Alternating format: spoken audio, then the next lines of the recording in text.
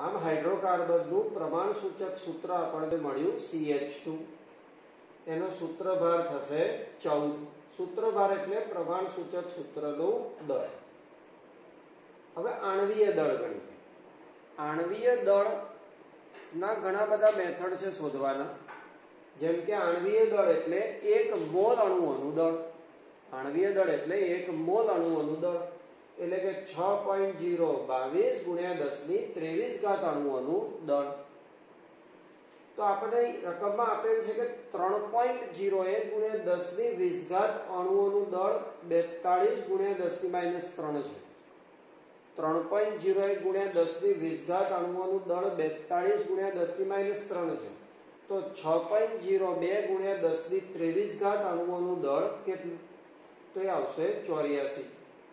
તો એન મળશે આણવીય દળ અપોન સૂત્ર દળ. એ થશે છ.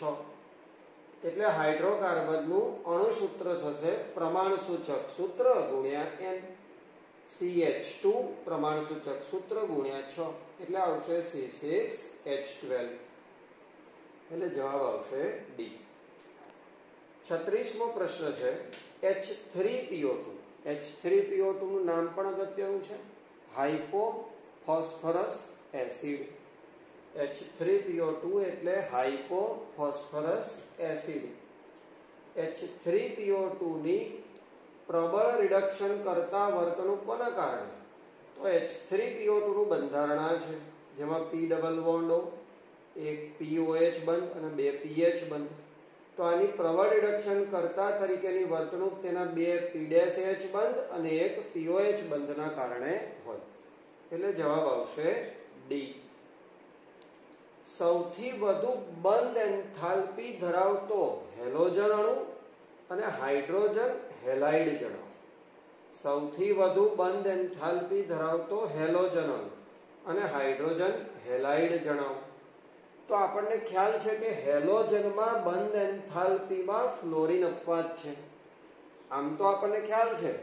એક જ સમૂહમાં આપણે જેમ નીચે જઈએ, તેમ પરમાણુનું કદ વધે એટલે અણુની બંધ એન્થાલ્પી ઘટે. ફરીથી એક જ સમૂહમાં જેમ નીચે જઈએ, તેમ પરમાણુનું કદ વધે, તેથી બંધ એન્થાલ્પી ઘટે. એ મુજબ જોઈએ તો ફ્લોરિનની સૌથી વધુ હોવી જોઈએ. પરંતુ કેમ કે ફ્લોરિનનું કદ ખૂબ નાનું છે. ફ્લોરિનનું કદ ખૂબ નાનું છે. અને તેમાં અબંધિત ઇલેક્ટ્રોન યુગ્મો છે. તેમાં ત્રણ અબંધિત ઇલેક્ટ્રોન યુગ્મો છે. આ અબંધિત ઇલેક્ટ્રોન યુગ્મો વચ્ચે અપાકર્ષણ વધુ રહે, કારણ કે ફ્લોરિનનું કદ નાનું છે. તેથી અણુ અસ્થાયી બને. તેથી ફ્લોરિનની બંધ ઊર્જા ખૂબ જ ઓછી હોય. એટલે સૌથી વધુ ક્લોરિનની હોય, ત્યારબાદ બ્રોમિન ત્યારબાદ ફ્લોરિન આવશે અને સૌથી ઓછી આયોડિનની જ્યારે હાઇડ્રોજન હેલાઇડમાં બંધ એન્થાલ્પીમાં કોઈ અપવાદ નથી, તેમાં હેલોજનના કદ જેમ વધતા જશે, એમ બંધ લંબાઈ ઘટતી જશે. તો આ પ્રશ્નમાં ઓપ્શનમાં જ્યારે નીટમાં પૂછાયો ત્યારે પણ ભૂલ હતી. હેલોજનની સૌથી વધુ બંધ બંધ એન્થાલ્પી હેલોજનની બંધ એન્થાલ્પી સૌથી વધુ.